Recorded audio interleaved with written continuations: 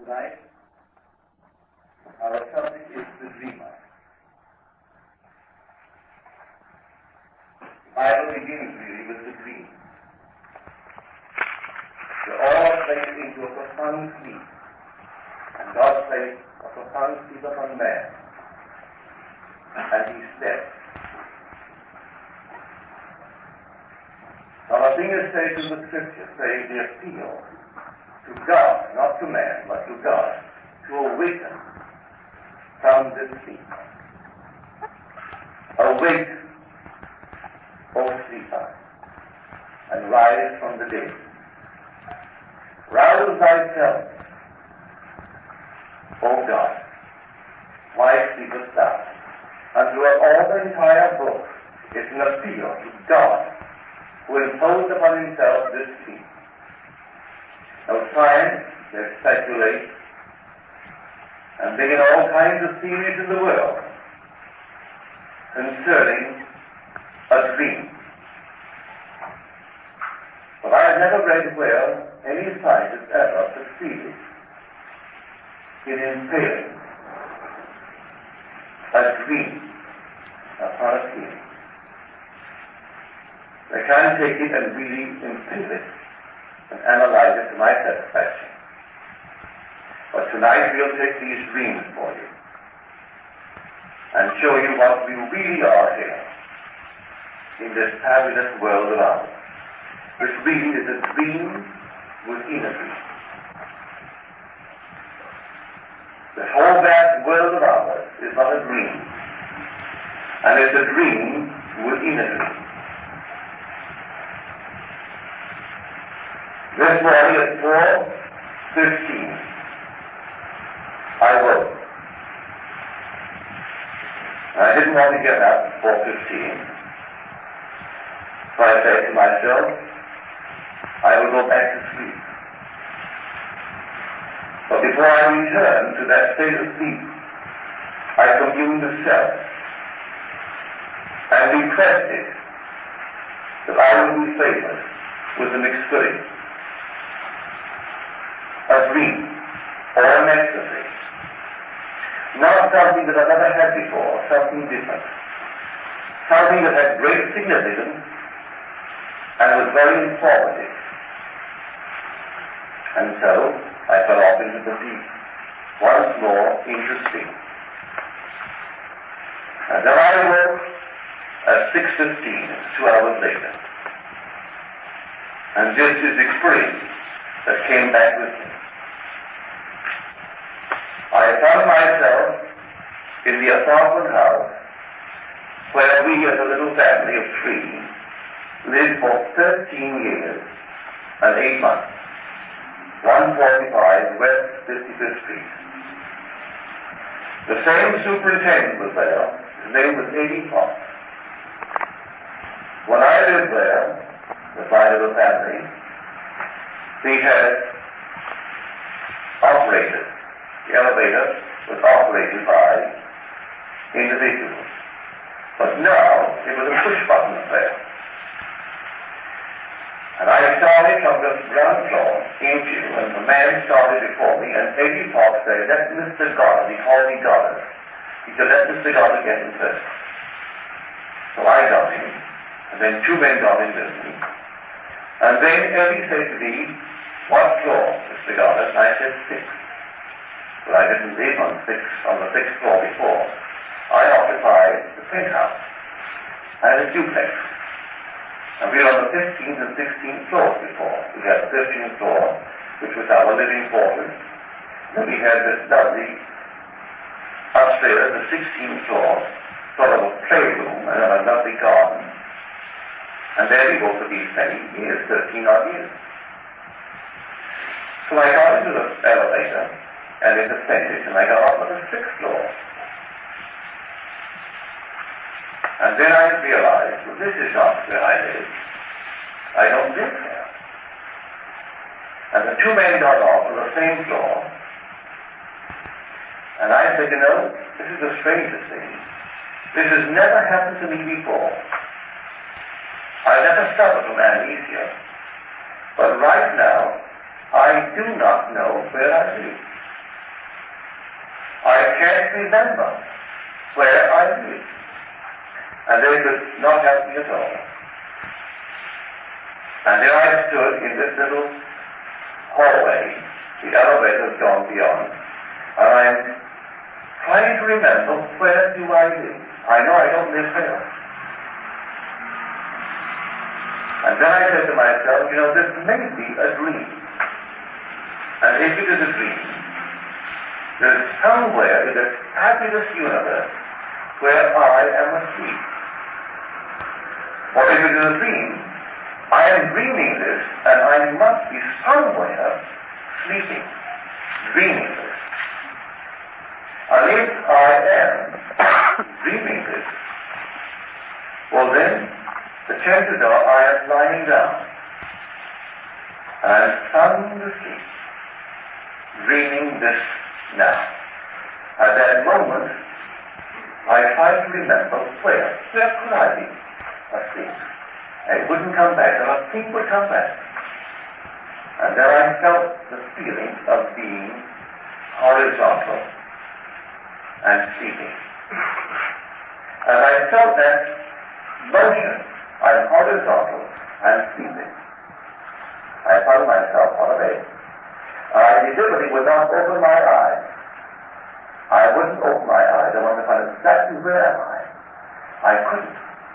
I thought, where am I?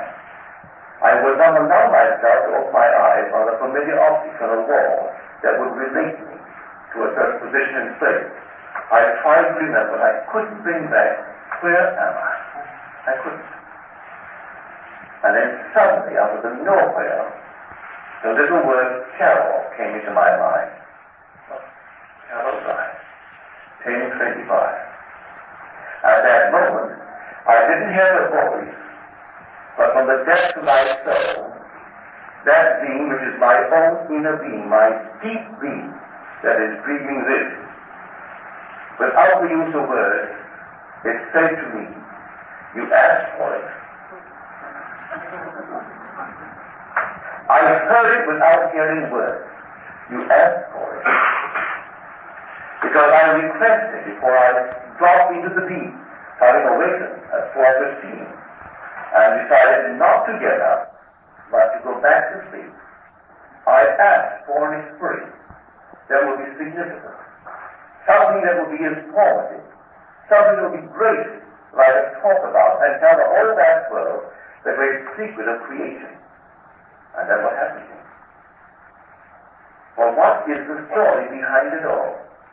Here is a a dream. Is this but a dream? I say it is. It is. This whole vast world is a dream. And when I read the story in Scripture, and when he's about to awaken into this world, it comes in the form of a dream. And the angel of the Lord appeared unto Joseph in a dream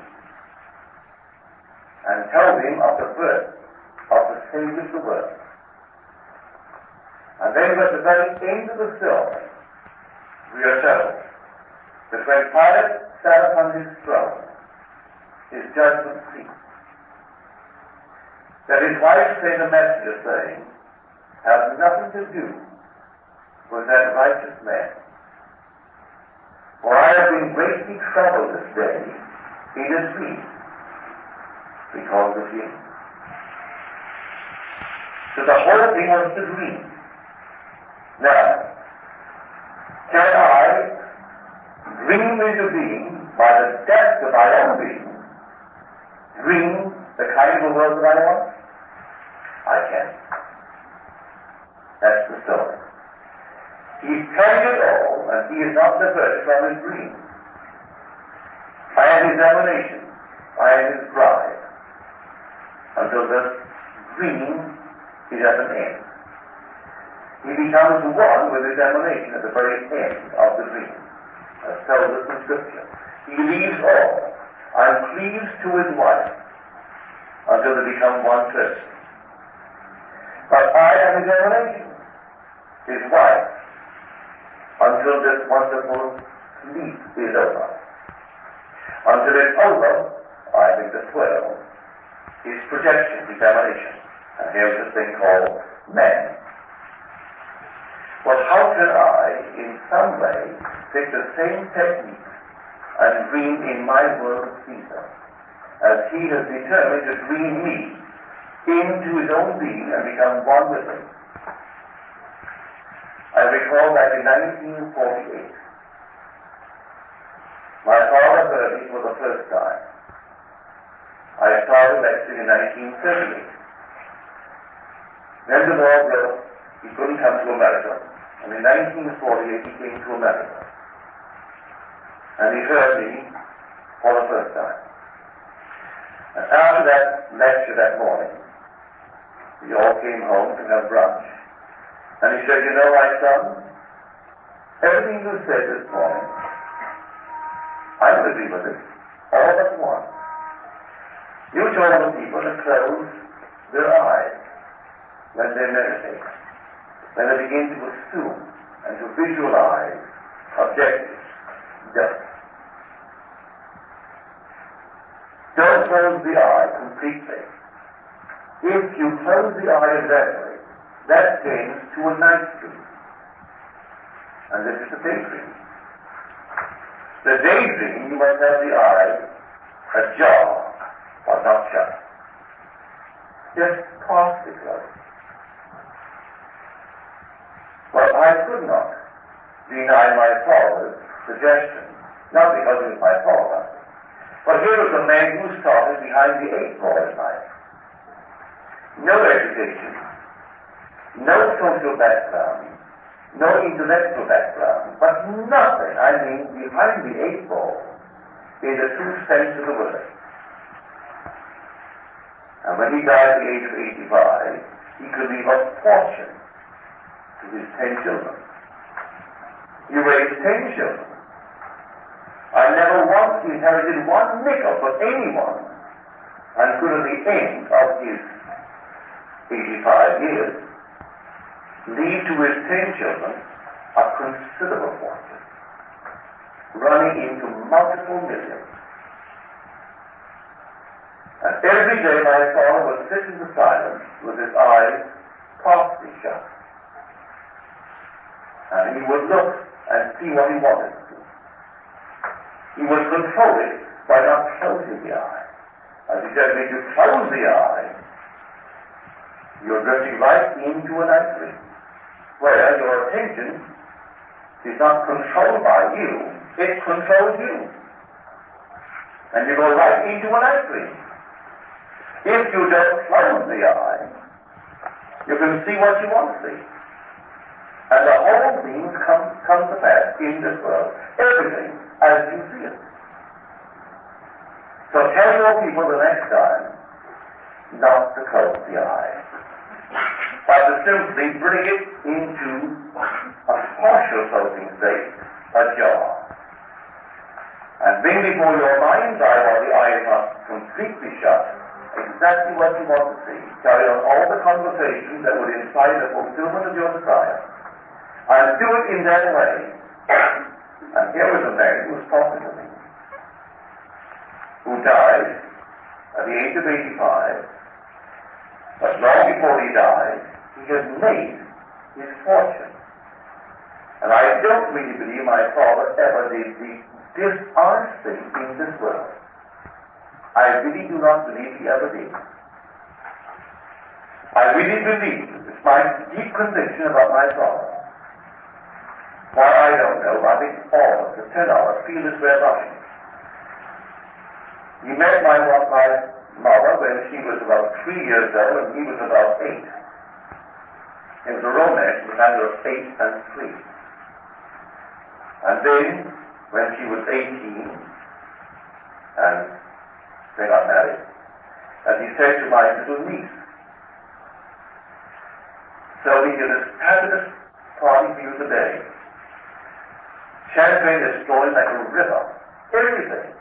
When I married your grandmother, I could ill afford a half pint of rum. And so we had a half pint of rum to celebrate the union, this wonderful wedding. But he went on with this simply partly closing the eye and controlling his attention and seeing what he wants to see, and he calls it the daydream. The daydream does not differ from the night dream. Say that in the daydream you are in control, or you ought to be in control. In the night dream, it takes over. Unless you persuade yourself before you sleep to fade with a dream that will be informative. And then he will do it. But if you don't, and you sleep after all the the stress of the day, all the headlines of the day, all the newspapers of the day, and all the radio TV of the that's what you get in the course of the night. Just confusion, just a nightmare. But if you do it in this way, and he shows exactly how he actually went about making his fortune in this world. Why say the Bible has only one source of dreams in this world. All dreams, all visions spring from God. There is no other of a dream in Scripture.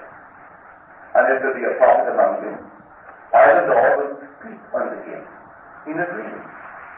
I made myself known unto him in a vision. And throughout the entire Scripture is all God speaking But who spoke to me this morning? The text of my own soul. And it seems at that very moment he was trying to entice me into a discovery of himself. When I felt, I didn't hear a word, but I felt, you asked for it. I distinctly asked for an experience that would be unlike what I ever had before. But it had to be instructive, informative, something that would share the whole vast world, and that they would actually understand the great secret of creation. And the whole thing came in this peculiar manner. Here I am, I didn't know where. I had forgotten where I laid myself down to do. Everyone has forgotten where he has laid himself down to be. Because the thing that you really are that is in a profound faith is God Himself. You lay yourself down to dream, and you are dreaming what you are now. But just project you can also dream, for the whole thing began as a dream and the end as a dream. So while we're here, if I could only catch it and know how to dream here, as the depth of my soul has dressed me into being and is continuing to dream, For thyself as I have planned it, so shall it be. As I have purposed it, so shall it stand. No power in the world can stop my predetermined dream. It's a dream. What is a predetermined dream? That I shall obey my emanation. He fell in love with me we shall endowed with you. And you are unique. No one in this world can take your place. There is no power in the world that can modify you in the eyes of one who's dreaming you. You modify the dreams out there in the world of people. But no one can fill your place. You are unique. And when you find the dreamer, he is actually enticing you, moment after moment, to find him. And the moment you find him, the being that really has left you in the being, you awaken and you will. So whole vast world is but a dream. So when the poet asks the question, is all that we see or see but a dream within a dream? And then in the same point, this is Edgar Allan Poe. He answers it. And so ask you the question, he affirms it. All that we see or see is by a dream within a dream. Now is a great revelation of the name of God, and we word it in the same way that Paul did. I am that I am. That's affirmative. Am I there? Am I? And use the word that as the dreamer. Dreamer? Am I? And then come back in the affirmative. I am. You mean I brought this whole that world into being? Yes, I did. I wish I could share it in the most intimate way with you that I it this morning. No desire to get for the scene. Only using the self. Give me an experience. Bring it forth in the form of a dream or an ecstasy. Either one. To me, ecstasy is vision. This, but more clear than this. So everything is solidly real, just like this. Bring it either in dream or bring it like this. But make it informative. Make it something that is so significant that I can tell it to the world and with them to show the secret behind it all. And then that same seed of assessment at the very end, to ask for it. You can almost hear the word coming through but the one word. I have heard the word time and time again.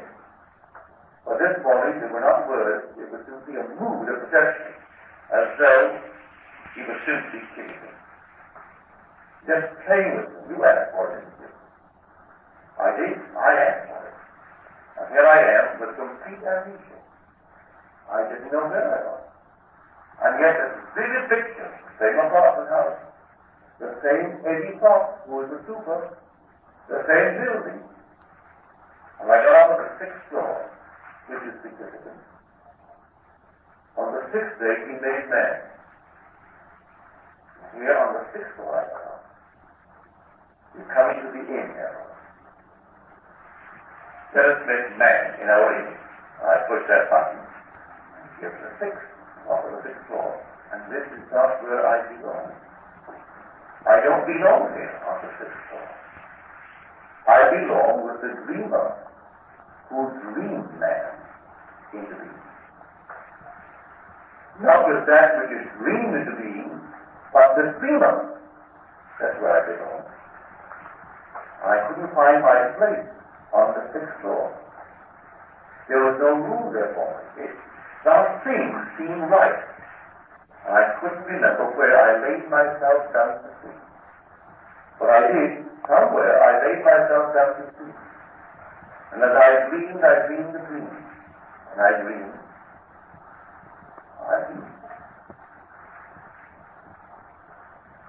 And then my, my mind goes back to that experience that I think I've shared with many of you who are here tonight. Some never heard. But many years ago, I had this experience, which will be the 42nd Psalm, if you understand the 42nd Psalm, where he makes great joy to the house of God. And this time in places, I found myself in this enormous crowd, a sea of humanity. And as I walked with them, and they're all in gay attire, oriental, God, very colorful. I heard a voice, the voice screamed out, and God walked with me. And a woman to my right, a very attractive lady, in her late thirties, in all the Arabic costume. And she questioned the voice. And she said, Yes, God walks with her. Where is he? And the voice answered, At your side. And she turned to her next, and looking into my face, began to tell her, It struck upon me that I would be the one sought out. And she questioned the voice. And she said, What? Is never God? And the voice answered, Yes, in the act of waking. And then the same voice from the depths of my soul, this time audible only to me, but not to others. And the voice said, I laid myself down within you to sleep. And as I slept, I dreamed the dream. I dreamed, and I knew the sentence. I became so excited I couldn't wait for the end. And at that moment, I felt these forces nail me to the spot. My hands became forces, my feet forces, my head vortex, and my right side vortex. And then I nailed to thing. As the voice said, yes, in the act of waking. So here the same dreamer was born, but he didn't sleep. First he lay himself down to dream, then he dreamed. He laid himself down to dream. Just where he laid himself down. He is that he is you. And when he awakes, you are you. This whole vast world is God, dreaming that is you. And when you completely awake, you will die. And you will see the oneness of it all, not one greater than the other. No one, you and I might have had horrible dreams. Some dream of these mountainous things, and others dream of wonderful pastures, easy lives, but you're all right. Not one is better than the other. So the individual may have this most mountainous climb, and he thinks that's marvelous, perfectly all right, that's your dream. And others will say, what is the marvelous to hear green pastures? Or nice wonderful sheep. And you dream of that. So entirely up to the dreamer. Just as he dreamed his wonderful one into being, he allows this wonderful one, as he puts him through all the great furnaces of to dream and comfort all these things in the world. So you could just now take the most glorious concept of yourself. I don't care what believe. My father never had a nickel, wasn't shot a penny. And today the estate he is that he is paying exceeds $25 million. And he didn't enter politics to get it, tell you. Didn't come from politics. It didn't come from anything that is subversive. It just from his daily dream. He would sit in the silence, I can see him now, in what I call in Barbados a Berbice chair. It comes from Demerara. It's a chair with elevated, extended arms. He put his feet out and they were elevated. And then he would sit after breakfast, which was served to him about 10.30 in the morning. Well, that was what we call breakfast in the West. The breaking of the fast, if my father was simply of coffee early in the morning. Well, then what he called breakfast would be around 10.30, and that would be like our dinner. A good, substantial meal. And then he would sit quietly with the eyes partly shut and see all the transactions of business of the day as he wanted them to be. Not as they could be if others interfered, as he wanted to be. And day after day he did it with the eyes partly shut, that it may not flow into the night, that he could control it in the daydream. For he knew this Bible better than any minister in the other. It's the one book that he read. And he read it day after day after day. And he understood his Bible. You ever read the books? All the others were brilliant scholars, but they didn't understand the Bible. Any more than the brilliant ones today understand the Bible. My Time magazine came today. What is almost right. Ridiculous to read the religious page today. Here is this fantastic power in the world.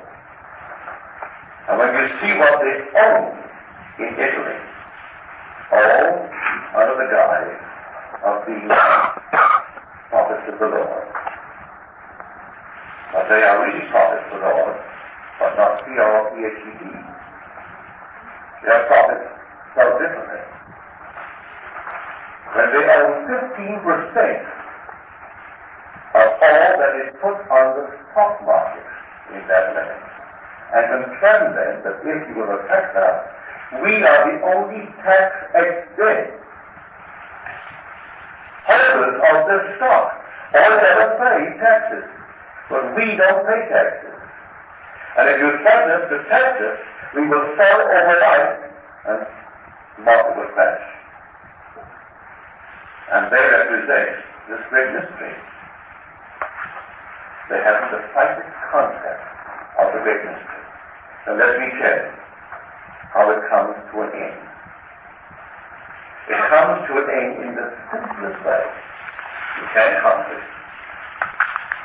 Nothing you can do until you wait for the birth. It comes to an end in this manner. Finally, Jesus Christ awakens in you. Jesus Christ is born in you. Jesus Christ and you find God's only begotten Son and calls you Father.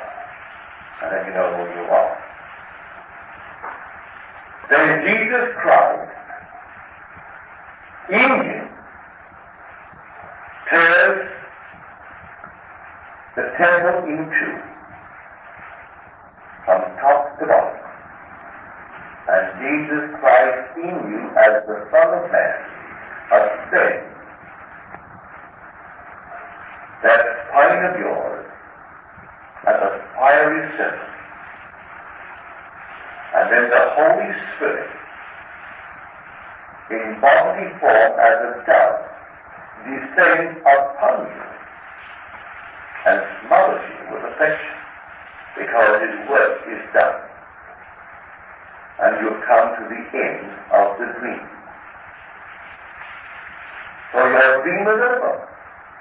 And you only wait the laboring days until you take off this garment for the last time and find that you who began the whole dream, you've awakened with an increased power.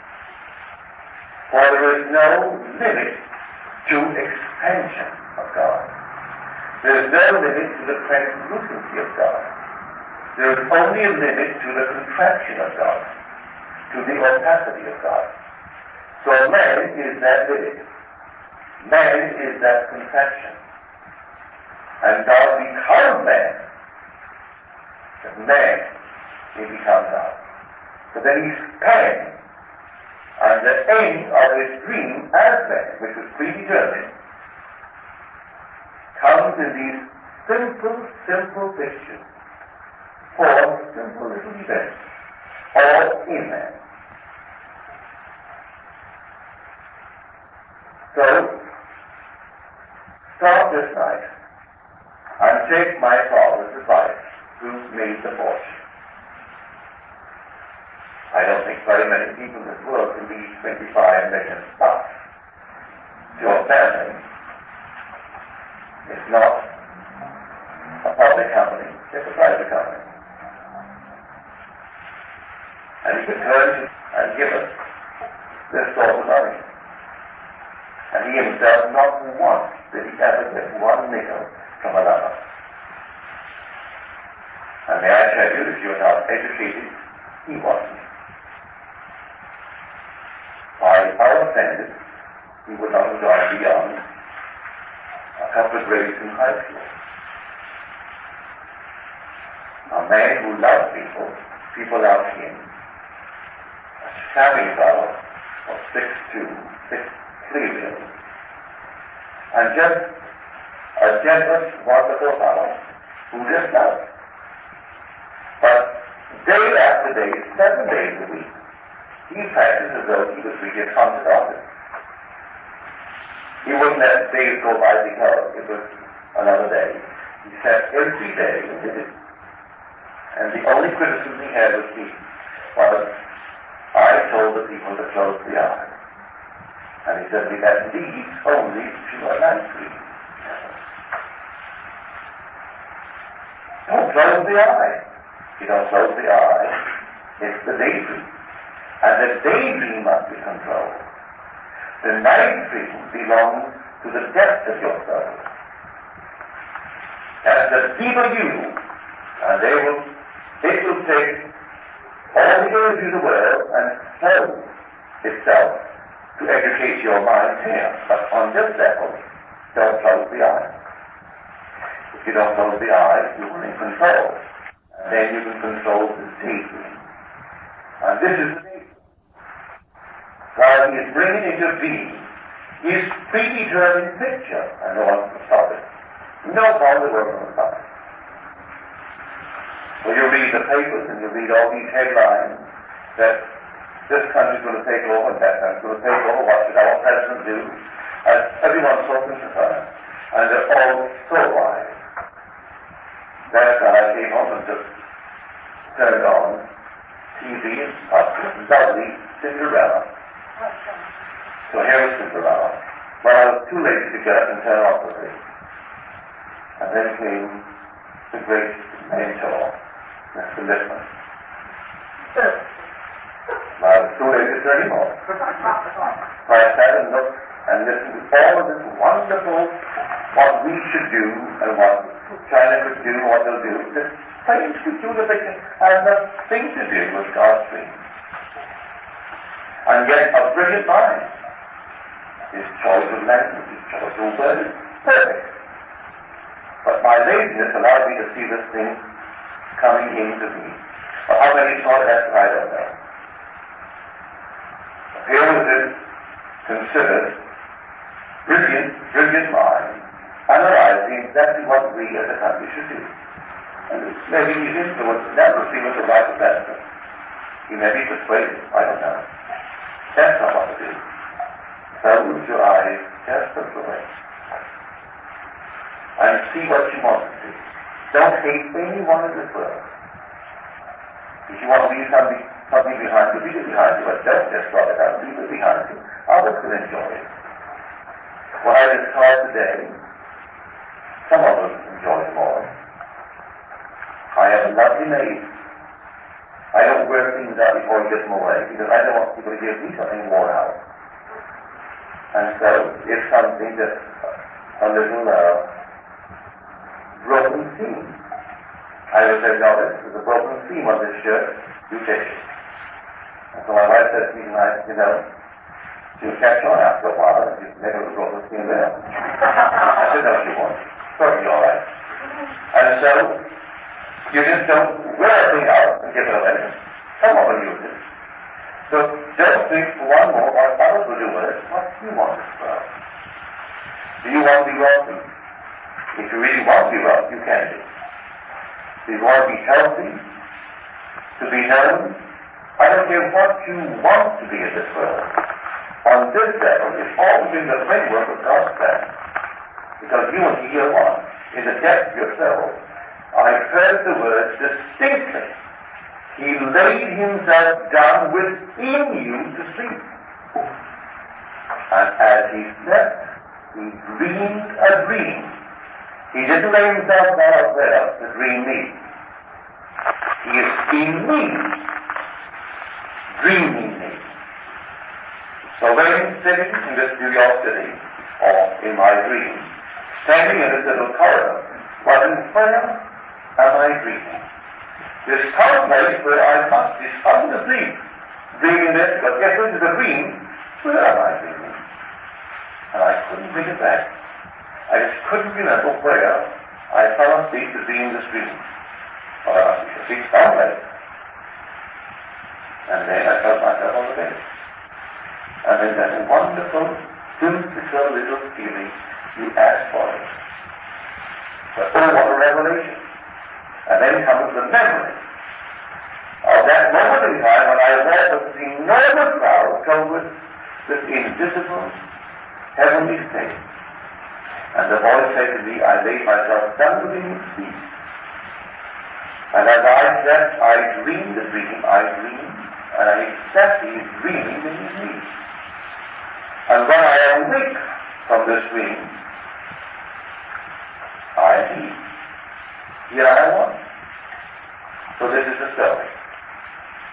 So tonight, take your glorious dream, wonderful dream, a little wonderful. Let it fit that wonderful statement in the Sermon of the Mount. Do unto others as you have them do unto you. Does it fit that? Right, then the dream is perfect. Let us fit that statement. Do unto others as you have them do unto you. And if that fits it, what is dreaming, and see it clearly in your mind's eye and believe in the reality of this imaginal act, and it will come to pass. No power in the world can stop it. And they will come this fantastic experience in your life. When everything said of Jesus Christ, you will experience. I was coming home from a funeral year ago. A lady said to me, who drove the car, first of all, she said, you know, our train's in the back, and it's a lovely, sweet Japanese house. And she said to me, they are Catholic. Well, I was certainly surprised, because automatically you think of Japanese as Buddhist. At least I. And she said, they are Catholic. Then said to me, are a Christian Scientist. That's all right. Then said me, what you? And I'm a Christian. She said, all right, I took that for granted, but I mean, what kind of Christian? Are you a Catholic or you're Protestant? I said, no, just a Christian. Well, that made no sense whatsoever. I'm a Christian. Well, you must be a Protestant of some kind, or you must be a Catholic of some kind. You're not a Christian scientist, I said, no. Or unity, no. Religious science, no. None of these things whatsoever. I'm just a Christian. And then I thought, well, now, can she take it? And then I told her, I'm a Christian because Christ has been resurrected in me. He is been born in me.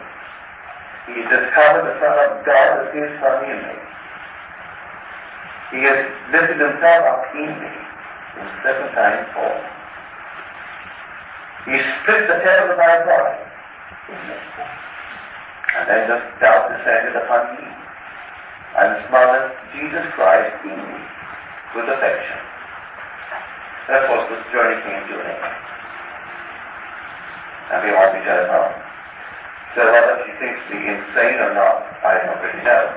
But that is my story. I'm a Christian because I have experienced the Christian mystery, not because of the accident of birth. But to everyone here, you will one day, I say to everyone, have the identical experience. Because there is only that story to be told in the world. There is no other story. They try to make it into all kinds of forms, because there is no other story. The story of God's salvation. How he emanated himself, in love with revelation, took himself to the dream world, which is a horrible state, and then completely yielded himself to his emanation, and they're fused and they became one. An entire book. And he and his emanation, his pride, were one. Now let's go to the.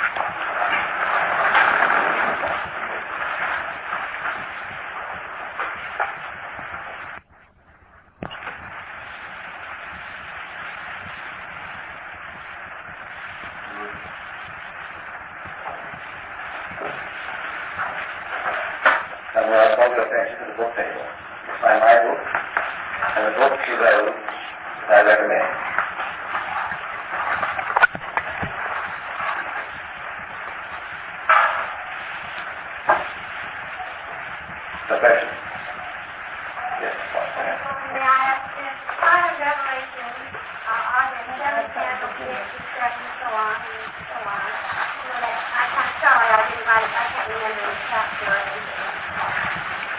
idea every number in Scripture has a symbolical value.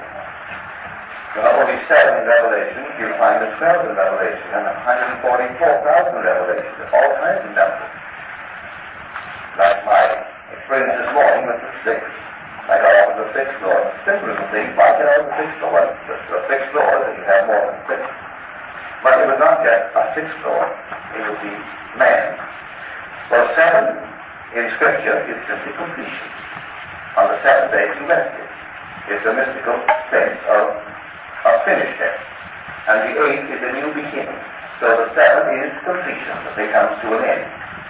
But the eighth is the important one in Scripture, because on the eighth day he rose, which is the first of a new age. The seven days, so the next day would be an eighth. And, and on that first day of the new week, he rose before the eighth. The beginning there, but there is no beginning or end to an eighth. Almost like the hourglass. There's no beginning of end, not the beginning of the end. The seven is completion. The work is finished. And we rested.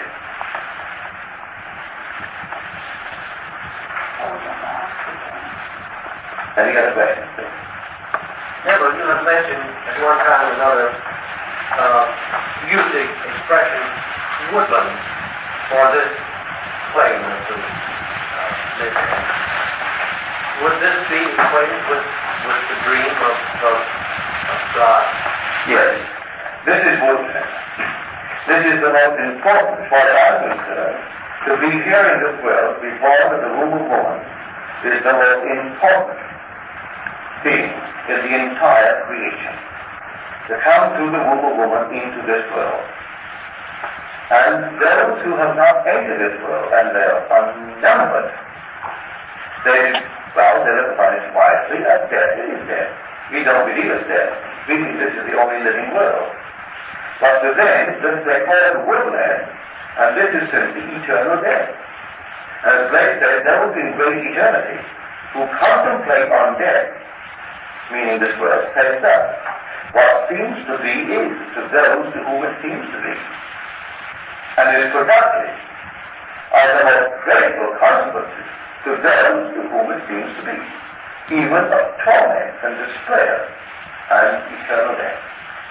So in this world, what seems to be, just as we said earlier, it really seems to be that I be self-persuaded, though we can deny it, that it is all in this world of death. But divine mercy steps beyond and redeems man in the body of Jesus. So here this world is woodland. And you're told in the eighth chapter of the book of Mark. And when the eye was opened, he was asked, What do you see? Said, I see men like trees walking. I recall vividly one night, I told the story in San Francisco, and it's just a strange reaction I've told it since. But I saw this politician, he's now gone from this world. He was one of the important members of the Socialist Party. A great opponent of Churchill. Well, that was that his name. You might have read about him or heard about it. Well, in vision I saw it. And I saw him take this tree and put it on his head. Huge branch, all like a huge big stag. And he tried to jump off this cliff and float, as it were, and he fell flat on his face. He got up, took this thing back on his head again, and made several attempts to really be this thing. And I knew that was not it. You can't put it from the outside. That's what he was trying to do with socialism in England. He was trying to do all these things on the outside of man. You can't do it. It has to come from the inside. And so you do know these things. If you ever saw them psychically, it's the most amazing sight. You look like the most fantastic stag, yet you're human. But they grow from within. The tree grows up. We are the tree of life. And nature, all the wise men of the world, as we're told, and all the gods of the earth and the sea, sought through nature to find this tree. But their search was all in vain. There grows one in the human brain. And then it starts growing on the inside, it grows up. And when you see this majestic, flowering thing that grows from man, as Paul said, now, henceforth is laid up for me a crown of righteousness. For he said, the time for my departure has come. I have fought the fight. I have finished the race. I have kept the faith. Henceforth is laid up a crown of righteousness. Well, it grows from within. The tree turns out. After the body is split, all the energies that went down into generation are turned up into regeneration. And that wonderful thing grows from your head. And your majesty beyond the wildest dream of man. You don't put a crown on your head as a queen does, with all these artificial things that are dead. This crown grows from within. And you have a majesty beyond the wildest dreams of this world. Growing out of you.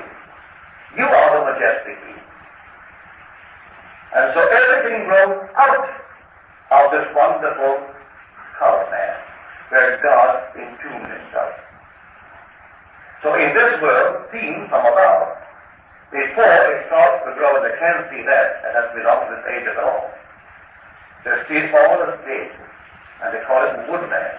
So when the eye was open, what do you see? I see men as trees walking. But when we enter the new age, we enter the new age, just as you see the wonderful stag, when he first breaks forth, and the little things begin to appear on his head, they come from within. And they get bigger and bigger and bigger and bigger as he grows into this majestic creature. And it never stopped growing. So the tree was felled, and everything was felled. And then the leaves were torn off, the limbs were severed, the branches were scattered, and no bird could find any rest, and no shade for the animal. But you're told, do not disturb the roots. Let it grow, and let the dew of heaven water it. And the dew of heaven water it, and then it began to grow. So God was the one that fell. That was the tree of life that fell. He fell in Eve. And so it came down into generation.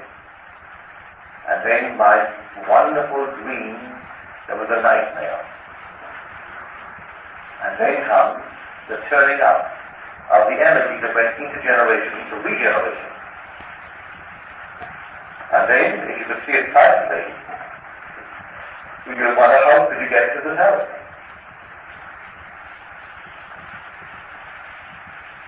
But it doesn't, no three-dimensional barrier could stop it. What you wear in glory, you bring into anything, but you couldn't, how could you possibly enter this room if the room could stop it? Good night.